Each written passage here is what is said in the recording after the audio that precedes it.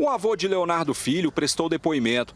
João Alves Pereira, de 81 anos, era marido de Luzia Tereza Alves, de 86 anos, e pai de Leonardo Pereira Alves, de 58 anos. Os dois morreram após comerem bolos envenenados.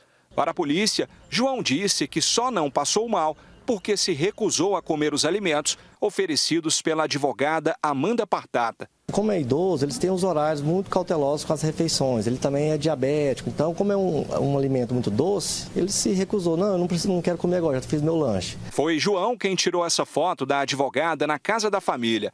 É possível ver os doces e o suco que ela comprou para o café da manhã. Já este vídeo mostra que a suspeita voltou ao local um dia depois do crime, quando o caso já era investigado. Os peritos também divulgaram o resultado do laudo, que revela detalhes do envenenamento. Segundo a polícia científica, dois dos quatro bolos de pote apresentaram uma substância altamente letal. Um óxido inorgânico que não tem cor ou cheiro, usado principalmente por indústrias.